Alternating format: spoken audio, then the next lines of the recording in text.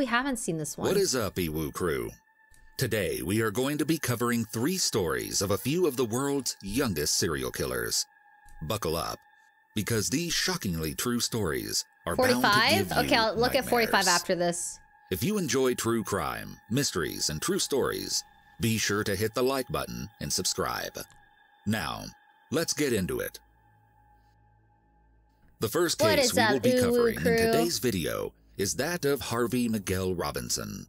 Harvey was born on December 6th, 1974 Yeah, we just started watching it. in Allentown, Pennsylvania. His father, unfortunately, was an alcoholic who was constantly quick to anger, especially within the walls of his own home. Mr. Robinson's physical and verbal assaults on his wife eventually led Mrs. Robinson to leave both him and Harvey behind in search of her own safety. As he was left alone with his father, Harvey had a remarkably rough childhood. Throughout the course of his early life Really, no and adolescence, I the might constant maltreatment that Harvey later. faced at his father's hand We'll resulted in Harvey developing anger issues We'll of his own. With so much violence know. and pent up hatred in his life, it was evident by the time fifth? Harvey was 17 years old that something about him appeared to be inherently off. Stop distracting me. Perhaps if the people in Harvey's life had paid a bit more attention to his strange and malicious tendencies as a boy, someone could have prevented the shocking events that would later come. In August of 1992, the violence in Harvey's life reached a limit. In fact, it overflowed. When 29 year old Joan Burghardt got home from a long shift as a nurse's aide in East Allentown, she was relieved beyond belief to finally relax in bed. Joan was an aspiring nurse who had studied at Lehigh County Community College in the years leading up to 1992. As a recent graduate, she had begun new hobbies that involved joining a local art museum and a hiking club to take up her spare time outside of Dude, work. Dude, hiking clubs are Exhausted so from the day's events, Joan found that she could barely keep her eyes open once she was in bed. In fact, she was able to bypass her usual insomnia completely and slip into a peaceful sleep within moments. Unfortunately for Joan, she had no idea what kind of monsters were lurking around in the darkness of the night she believed to be so peaceful. Hello, As she slept, Joan was entirely unaware that she had unwelcome company in her home. None other than 17 year old Harvey Robinson had managed to silently break into Joan's house, and before she was even aware of his presence, Harvey was already inside her bedroom. 17. Harvey assaulted Joan and then proceeded to quite literally bludgeon her to death. Just like that, Harvey became a violent murderer. But why? and his killing spree had just begun. Why? In the weeks following after Joan Burghardt's murder, local officials were able to swiftly track down Harvey. They found evidence that he had broken I mean, into it's probably Joan's an older home in the of weeks him. prior to killing her. Despite like a knowing full that beard Harvey at was guilty of burglarizing Joan's home before her death, the investigators had no reason to believe that his burglary was associated with the murder. But in fact, he had been stalking Joan before he struck. Though Harvey was arrested for the burglary, he only ended up going to prison for a total of eight months. Eight Those months. eight months served as a buffer that prevented Harvey For from continuing his killing spree. But then he got out. In June of 1993, Harvey found himself once again looking to continue what he had just started.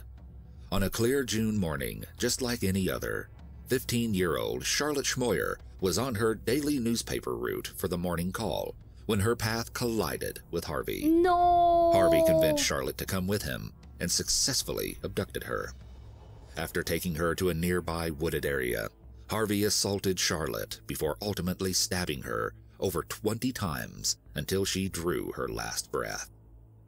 Later that afternoon, one of Charlotte's regular customers noted that they had seen Charlotte's car parked outside their house, but had not seen her at all. Knowing that Charlotte would never willingly leave her vehicle unattended, they decided to call into Charlotte's workplace to report their concern. The morning call also felt that something was wrong with Charlotte because they hadn't heard from her either. And so they contacted the local law enforcement to report that the 15 year old appeared to be missing. Just hours later, Charlotte's body was found near where she had been abducted. Almost immediately following his brutal murder of Charlotte Schmoyer, Harvey was actually pulled over by a police officer. Nervous to face the consequences of his actions, Harvey accepted that he had been caught and 15. anticipated his arrest. However, the officer simply handed Harvey a speeding ticket so and let him go on his way. Having once again got away with murder, That's Harvey crazy. felt unstoppable, and he refused to quit while he was ahead. In July of 1993, just one month after murdering Charlotte, Harvey struck once more. While her entire family slept safe and sound in the comfort of their shared family home, 47 year old Jessica Jean Fortney found herself face to face with a young serial killer. Harvey Robinson mercilessly attacked Jessica in her own home, forcefully assaulted her, and beat her to death. Harvey even left her body for her family to eventually find in the morning. Insanity. While investigators searched for the killers responsible for Joan, Charlotte, and Jessica's murders, they had no idea that they were looking for just one man responsible for all of the heinous crimes. And yet, Harvey was far from satisfied with his crime spree. Over the course of nearly a week, Harvey stalked a five year old girl who he had intended to take as his next victim. What? When Harvey finally determined that he had found the proper time to strike, he broke into the girl's family home and attacked her. Harvey brutally assaulted the child in the same way he had with all of his previous victims. This time, he decided to choke the young girl to death. no. Or rather, he had intended to do so. Oh. The child fell unconscious, and Harvey believed that she was dead. So, just like Jean Fortney, he left her limp body to be discovered by her family. Wait, she survived? By some miracle, the girl actually managed to survive the horrific attack, and when her parents found her, she proceeded to tell them exactly what had occurred. Oh my Just gosh. weeks later, Harvey broke into the home of another woman by the name of Denise Samcali. Harvey attempted to assault Denise, but was unsuccessful as she fought back and was able to break free from his grasp. Get him! Having escaped Harvey's hold on her, Denise ran outside, only to find that Harvey was still on her heels. He once again tried to subdue her, but Denise refused to go down without a fight. And eventually, Harvey gave up and fled the scene. After reporting the attack to local authorities, Denise actively worked with the police to assist them in their investigation. Assuming that Harvey would come back to finish what he had started, police used Denise as bait to trap Harvey and catch him red handed. And fortunately, it worked like a charm. After she had gotten away, Harvey had started stalking Denise, waiting to finish off his attack. Just days after he first tried to assault and kill her, police watched as Harvey once again approached Denise's home. Swiftly, officers attempted to arrest him, but Harvey had come to Denise's house armed, and he pulled a gun on the police officers and abruptly opened fire on them. Police responded with gunfire of their own, which wounded Harvey, but not enough to stop him from escaping. Oh no. Fortunately, Harvey ended up needing significant medical attention as a result of his wounds. He ended up checking himself into a nearby hospital where officers were able to locate him just hours later. Oh, lol. At Harvey's trial, the prosecution was able to connect Harvey to his three murders and two attempted murders by presenting matching DNA that had been collected at each of the crime lol, scenes. lol, lol. At Harvey Robinson's trial, District Attorney James B. Martin noted, quote, These were horrific killings, and I just thought the death penalty was appropriate under the circumstances. I still think it's appropriate. I think it's appropriate. Harvey Robinson was ultimately Do you guys. Feel about the death penalty in this case?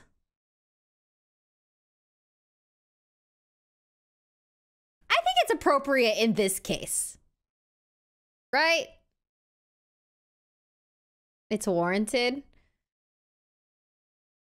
Like, this guy, it's almost like he doesn't even have a reason. Like, he's just going around killing people. Why would he stop? Danger to society? It's just like, yeah, it's just mindless killing. It's insane. Don't like the death penalty. I like the death penalty. Deserves worse. Should be in jail. Oh, it's like in life, it, life in prison or death penalty. It's just so. One is just. Uh, it's just a matter of like, is it deserving? Vote time? ultimately no. sentenced to death and received two additional life sentences for the assaults and serial murders he committed at the age of 17. As of 2021, Harvey is 46 years old and is still imprisoned on death row. To date, he is one of the youngest serial killers in American history. His crimes were later used as an inspiration for a character featured in the show Criminal Minds. Ugh, ugh. The next case we have for you today is that of 15 year old James Fairweather. James Fairweather was born on August 5th, 1998, in Colchester, Essex. Maybe like life in prison and then death at a certain age so that they live with the fear and anxiety of dying. I don't know. Maybe, I don't know. I just, I just don't like mindless killing like that is insane to me. People, people that don't deserve it, that's crazy. Suffer first and then die. His Great parents, idea. Anita and James Sr., loved their son. Oh, I don't know. I don't know. And wanted to ensure that their small little family would live a quaint and normal oh, life. Oh God.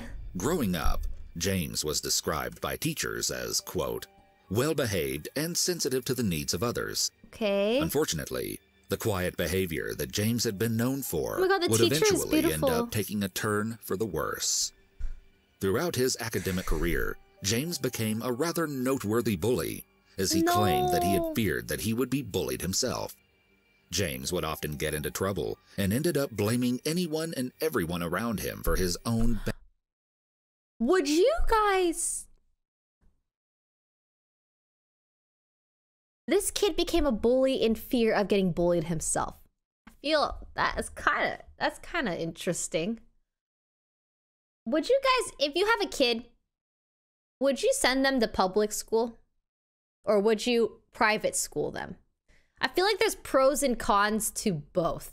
I feel like private school, you have more control over the development of your child, but they lack the social engagement of other, you know, making friends, um, learning. I, there's so, oh man, it's so tough. There's like pros and cons to both sides.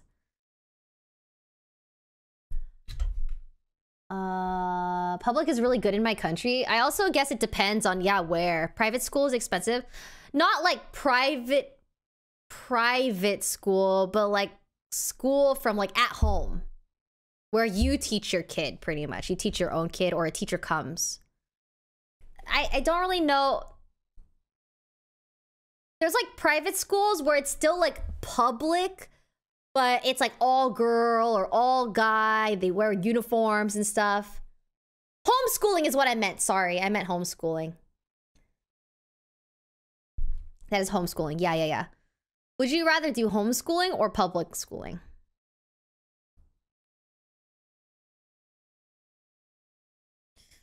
For sure, school with other kids just for the social skills. Yeah, I feel like social skills is so important, but like, I feel like there's a lot of kids that just have broken families that are going into public schools and they're reacting from their at home experiences and retaliating with kids in the public space which also in turn causes more trauma because of like the bullying and stuff bad behavior.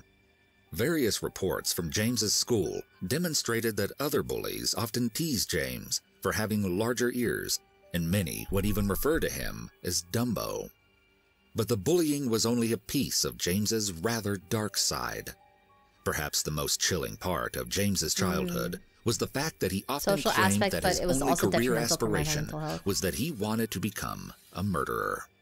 He had actually grown to have a rather disturbing obsession with serial killers, including the Yorkshire Ripper, Peter Sutcliffe. When James's grandmother passed away, the building rage he constantly felt toward the world seemed to significantly amplify. Shortly after her passing, James committed his first crime when he robbed a store at knife point. He was Oh, subsequently arrested and sentenced to one year of youth supervision. Unfortunately, small, semi violent crimes were not enough to satisfy James Fairweather. When James was only 15 years old, he decided to push the limits on what he believed he was capable of doing. So, on March 29, 2014, You have he to learn with how managed to to deal with it sneak because out of his also what they parents' have to deal home. with when they get He had armed into the real world himself with gloves yeah. and was wielding a knife in search of anyone unfortunate enough to come across his path. No. Mere moments into his walk, James approached a 33 year old man named James Atfield, who had been asleep at the moment James Not spotted the him. James on James. Atfield had spent attack. the evening drinking with his friends and had overdone it, which led to him inevitably passing out in a field in Colchester's Castle Park. When James realized that Atfield was unconscious, he decided to make Atfield his first victim. With the knife he had brought with him, James stabbed Atfield in the No! abdomen, head, and face. Oh. According to the later autopsy, James had stabbed him a staggering 102 times. Then, believing that he heard someone coming, James fled from the scene and ran straight home. Though James arrived home around 2:30 in the morning, Atfield's body was not discovered until over 3 hours later. What? When authorities found Atfield, they quickly rushed him to a nearby emergency room, but he was pronounced dead at 6:31 I a.m. mean, a hundred Atfield over a was a hundred father times. of five children and had lived with permanent brain damage after a car accident he had been in years prior to his murder. According to What? How? How does someone go through something like that and gets randomly stabbed over a hundred times? That is insanity. his autopsy, Atfield had a variety of defensive wounds on his arms and hands, leading Ah. investigators to believe that he had been conscious enough to try to fight James off during the attack. As part of the investigation into Atfield's death, James was actually interviewed by police as a suspect, but he had a solid alibi saying that he had been home at the time, and as no one could say otherwise, all suspicion moved on. Just like that, James Fairweather got away with his first murder at the age of 15. Just months later, on June 17, 2014, James once again found himself looking to take another life. This time, James was far bolder in his attack. This time, he decided to strike in broad daylight. no way. As a 31 year old college student, Nahid Almanea was walking to her university at 10:30 in the morning. She had no idea what kind of dangers were lurking nearby. James managed to sneak up behind Nahid and stab her in the back with a bayonet knife before spinning her around and knocking the sunglasses off of her face. Then James stabbed both of her eyes until she fell to the ground and obtained a massive skull fracture. James stabbed her an additional nine times, fracturing Nahid's rib before he fled the scene. After two disturbing murders, I am never going out in broad daylight ever again. That is crazy. Just any random person can just come up and stab you whenever they want. Her eyes. Yeah, he stabbed her in the eyes. Essex police were on high alert and ended up questioning around 70 local residents who had been known to have a history of knife related crimes, once again, including James himself. But he again had an alibi, and he was not questioned any further. Huh? By January of the following year, Essex police had located and interviewed more than 900 potential witnesses to both Atfield and Nahid's murders. Perhaps the most confusing aspect of the two killings was that Atfield and Nahid had been two complete strangers with no connection to each other. Considering the fact that they had both been killed at different times of the day, investigators had first assumed that there could have been two separate individuals responsible for their deaths. Eventually, however, it was determined that, though both victims were selected randomly, Atfield and Nahid were killed by the same person.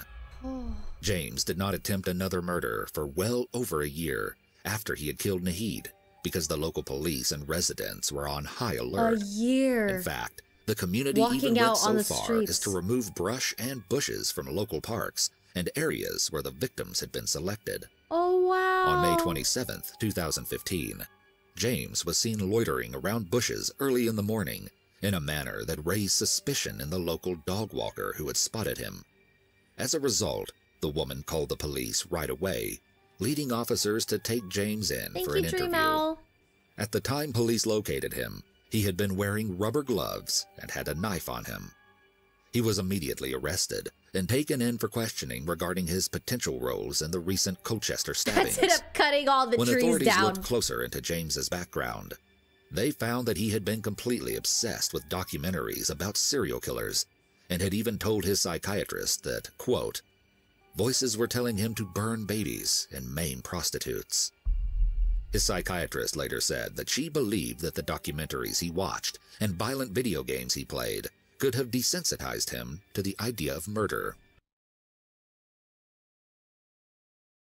I just don't think that video games cause people to kill people. I really don't like that they're putting that in here as if that's a valid reason for why he started murdering people. That that is that is not cool. Child childhood trauma comes first. Yeah. That's that's an incra- that's a crazy thing to add in there. Like I get the psychiatrist said that first of all, she's a psychiatrist and this dude's talking about how like the voices in his head are telling him to like maim prostitutes and kill babies, burn babies. Like shouldn't you report that? Okay? boomer mentality. Dude, yeah, a lot of the older generations do think that video games cause people to be more likely to murder. It's just simply not the case. That's not real. In the following Valorant interrogation, executed by Essex police, James recounts the night he murdered Atfield, asserting that the voices in his head ordered him to do it. Like, some voices were talking to me. You need to make a sacrifice, so we're going to come and get you. You need to do it. And I saw him. It was where it was on, laying on the grass, like, like that. It was like, like. This was just fast asleep. Was where he was drunk. Then he goes, he goes, he's the one. He's the one. He's the one. Do it, do it. So I went up to him. Can I stand Oh up? no. Yes. Went up to him. No, no, sit down, sit over like down. We're not helping that. So I stabbed him first there. And I've done it a few times. While I was doing that, my voices were laughing and laughing and laughing louder and louder. After his arrest, James's name was not disclosed to the public, as he was a minor at the time of his crimes. But he nonetheless went to trial denying the two charges of murder and possession of an illegal weapon. Wow. Instead, James admitted to two counts of manslaughter, but also asserted that he had psychosis. His psychosis was not That's so confirmed by the court psychiatrist, though all four psychiatrists who looked into James's mental state agreed that James had an autistic spectrum disorder. James was found unanimously guilty on April 22, 2016, and was sentenced to life imprisonment with a minimum of 27 years for the atrocious murders he had committed. One of Essex's youngest killers remains imprisoned and is now 22 years old. Bro. Finally, the last case we have for you may be one of the most shocking cases of child killers the world has ever seen. The story of Craig Price. Craig Price was born and raised in the Buttonwoods neighborhoods of Warwick, Rhode Island, in a small working class family. As a teenager, Craig was often described as, quote, a hulking teenage football player with a baby face and a winsome smile who lived with his parents in a small ranch house in the Buttonwoods. Though most serial killer cases include some level of trauma paired with heightened mental issues, there was nothing particularly significant about Craig's childhood that would ultimately influence his later actions. Perhaps that is what makes Craig's behavior all the more chilling. I'm scared. In July of 1987, when Craig was only 13 years old, something inside of him appeared to have shifted dramatically. On the night of July 27th, Craig set out to do something he had never done before. He wanted to kill. But why? With a rather basic plan created and a victim selected, Craig set out in the middle of the night, intent to break into the home of one of his neighbors, who lived just two doors down from his own house. After letting himself into the home with ease, Craig quickly went into the kitchen and armed himself with a single knife from the homeowner's kitchen set. Then he snuck into the bedroom of 27 year old Rebecca Spencer, where she slept. Seeing his fate, Lock your doors! Everyone, get up and lock your doors right now. Make sure your doors are locked. Barricade them in. We need wood and nails. We need to. Uh, my door doesn't even have a doorknob. Like, you cannot get in here. Okay? I took the wrench off. Not even home? Bro! Go home quick! Go. Go home Okay, okay. No one panic. No one panic. Stop panicking. Don't panic. We're cool. All right.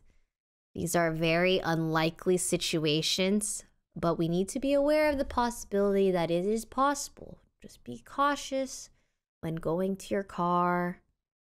You know, when you go from your car to your workplace, you know, be sure to have an extra sense of your surroundings, right? Sure to have some sort of like defense, maybe a little, you know, a little pocket knife or something. Okay, something little bit. I'm panicking. Don't panic. Don't panic. Everyone relax. Okay, I started to panic, but I realized if I panic, you will panic. Don't panic. We just have to be prepared. We just have to be and prepared. Rebecca's, Craig proceeded to stab the young woman 58 times until she drew her last breath. Craig swiftly vacated the premises and snuck back into his own home, virtually undetected. 58 times. Even with his lack of life experience and status as a 13 year old boy, Craig managed to thoroughly clean himself and ensure that there would be no evidence left behind that could potentially connect him to Rebecca's murder. The initial investigations into Rebecca's death went cold in the months following the attack. No In way. fact, it was completely unsolved for two whole years, and Craig managed to fly under the radar and avoid any and all suspicion. Thrilled by the feeling of success, Craig was satisfied with his first murder, and though he was determined to kill again, he found it best to wait before striking again. So, two years later, when Craig was just 15 years old and a freshman in high school, Oh he decided to test his luck once more. But why? Or rather, three times more. On September 1st, 1989, Craig was high on both marijuana and LSD and itching for a thrill. So he stuck to what he was familiar with and set out into his neighborhood in search of a home to infiltrate in the same fashion that he had previously done to Rebecca's home. Having faced various racially charged situations in his youth, Craig decided it would only be appropriate to attack one of the white households in his neighborhood as a sort of revenge. Silently, Craig broke into the home of 39 year old Joan Heaton, while she and her two daughters, Jennifer and Melissa, Oh were sound asleep. Stumbling upon Joan's room first, Craig stabbed the single mother 57 times before leaving her to bleed out. He then found 10 year old Jennifer, who he stabbed 62 times until he was certain she was dead. Finally, he crushed the skull of 8 year old Melissa before stabbing her a total of 30 times.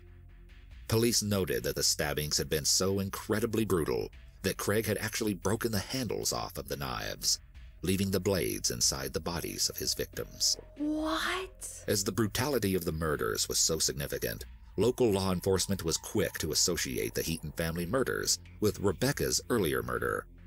In response to the killings, the FBI was called in to profile what everyone assumed to be a cunning serial killer.